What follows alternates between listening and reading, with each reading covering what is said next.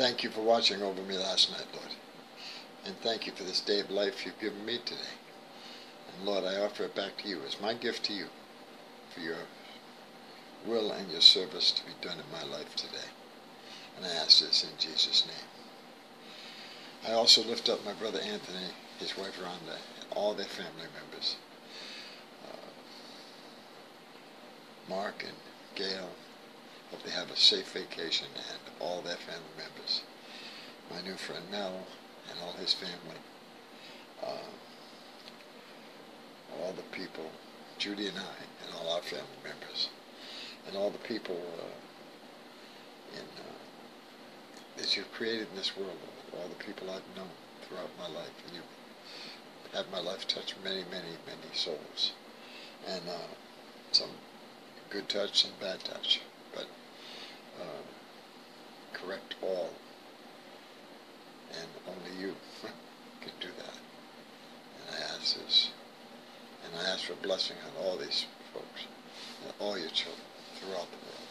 And I ask this in Jesus' name. It's a big one, Lord, but uh, for you, nothing's too big. And you like it when we ask big things. Uh, you know, praise God. Thank you, Jesus. Um, thanks for being in my life. More, yesterday was a, a great day. Uh, I'm going to get up to uh, AC Moore today. It was when I was checking out with the shirts. That girl says, uh, she liked the, oh, you make the shirts, you know, oh. And I asked her, you want one? Yeah. And, uh, well, you know, you were there, Lord. But uh, I made the shirt. We're going to get back up today. You're going to go with me. And uh, thanks for pointing out which shirt I should have done first, which was that one. And then uh, I'm looking forward to today, which shirt I'm doing it. I had the white shirt done for Michael up at the park, so maybe we'll meet him soon, and I'll be able to give that to him. Um, okay, I'm going to read some inspiration, and uh, help me read this one, Lord. And um, you read it to, uh, or you gave it to uh, Sarah Young back.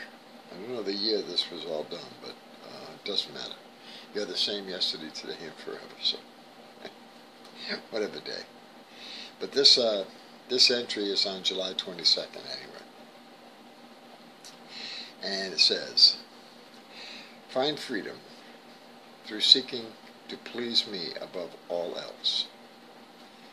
All else, we got to please him, and he loves us." And in this book, he tells you different ways, the things that please him.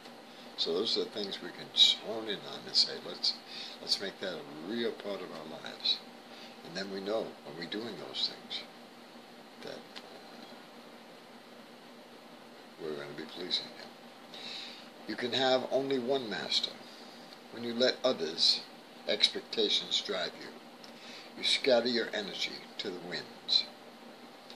Your own desire to look good can also drain your energy. I am your master, and I do not drive you to be what you are not. Your pretense displeases me, especially when it is in my service. Concentrate on staying close to me at all times. It is impossible to be inauthentic while you are focusing on my presence. Praise God. Thank you, Jesus. And some Bible passages that support this are from Ephesians 5, verse 8 through 10, Matthew 23, verse 8, and Matthew 6, verse 1. If you want to lift those up, that'll uh, support what this was, what was written here. And, uh, but this lady, Sarah Young, was sitting with the Lord, and the Lord's Spirit's in us.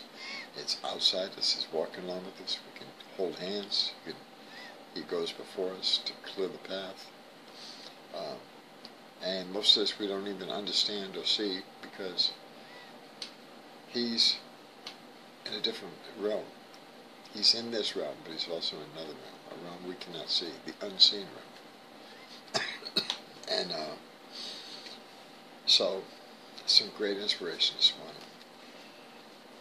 These are, so, I, I just read them. And I don't worry about the dates. I've already read almost the whole book. Because days really, with the Lord, are. Do we, you know, man has put a, a time and a date on everything. But the Lord, I don't think, you know, He's the same yesterday, today, and for eternity. So when He was walking the earth, He was one way. Today, He's the same way. Hasn't changed. The Lord is never changing. He's always the same. He wants us to seek His face in all things. All things. Think about that. All things. Everything. Everything that goes on in your life today. In my life today. In everyone's life today. He is in each and every one.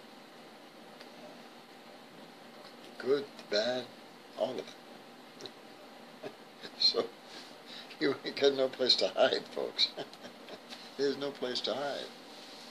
You wouldn't want to hide. You don't want to hide from the Lord. You want to come with, come into His presence. Say, Lord, look, and I'm, I'm really messed up right now. Uh, maybe you got alcohol problem. Maybe you got a drug problem. Maybe you got this problem or that problem. Um, whatever problem you got. Okay.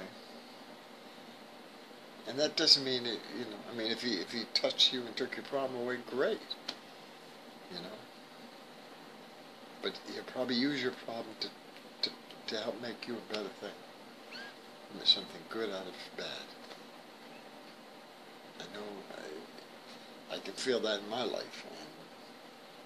And he uh, you end up you, you can't thank him enough. You know, every step you take today. Think about it, the Lord's with you.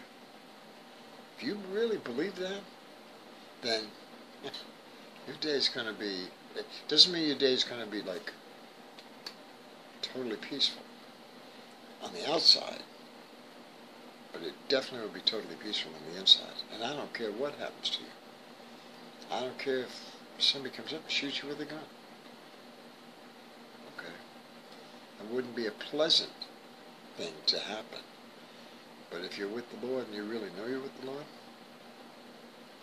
then offer it up to Him.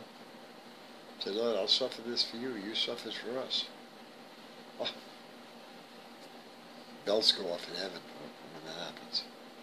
It doesn't have to be that dramatic, you know, I think. I think the Lord loves us. You know, maybe we're not following the Lord. We put ourselves in situations where that might happen. But when you really get close to the Lord, He's got an army of people looking out for you. Okay? Doesn't mean that bad things aren't going to happen. But uh, He can avoid a lot of the major bad things. He knows what you can, what you yourself can stand. So He's going to keep it within the realms of that because He loves us. He is pure love, no condemnation. He loves everything about us. He loves us. Well, maybe not everything about us, but the things he doesn't love about us, he'll help us change. Praise God. Thank you, Jesus. Thank you, Jesus. So it's up to him. Get out of yourself. Get away from yourself. You're your own worst enemy. Okay? I'm my own worst enemy. And our greatest friend, above all on earth, including our own family, is Jesus. That's it. He came down here to show us and teach us that. Praise God. And thank you for doing that. Because without it, we would all be we would be in super deep, deep now. Yeah. Okay, well look, at, I'm going to put this up on the internet, and uh, Brother Anthony, get this book, brother. Telling you. yeah. You would like this book, brother. Yeah. It it really yeah. Yeah. Just say that, Anthony. You, you would love this book, brother. Um I found it at Walmart. Well, I didn't find it. I found it at Walmart, but the Lord guided me there too. So it was twelve twelve ninety nine, something like that. It was not that expensive. They make a bigger copy too, a nice one.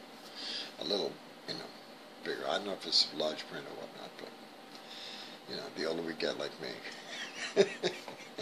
but you know what? When you're with the Lord, I, I just don't feel that age thing. I know it's there, and I'm getting older. I can look in the mirror and see my, you know, self getting older. But inside, I'm a kid. I'm still a kid. Yeah. Thank you, Jesus. Thank you, Jesus, on that one. Huh? Okay. Um, I keep trying to get off, but I, when talking about Jesus, I could talk about him, and not to tell you, because he can tell you. I don't have to explain anything to you. Big thing is go to him. He's the one that needs to teach you, not me. I can point you there. Go there. That's where you need to go. but you gotta go to him. He's the one. He is the one. Praise Jesus. All right, uh, Lord, everybody have a great day.